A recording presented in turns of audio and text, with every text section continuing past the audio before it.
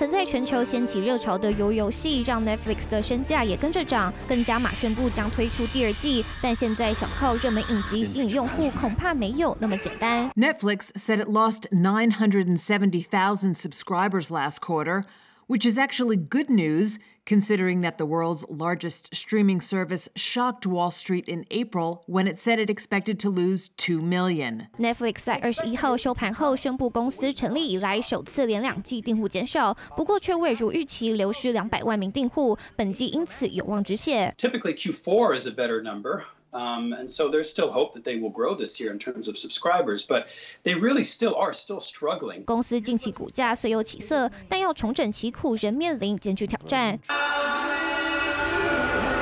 Netflix 在疫情爆发初期带动订户激增，但风水轮流转，疫情趋缓，娱乐选择大大增加，加上迪士尼等串流平台崛起，美国影音串流市场趋于饱和，才让公司面临多年来难得一见的用户退订潮。To tackle the widespread account sharing between households.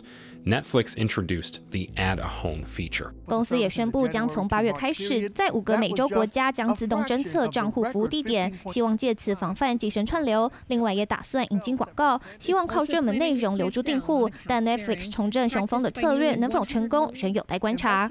三立新闻，陈晓报道。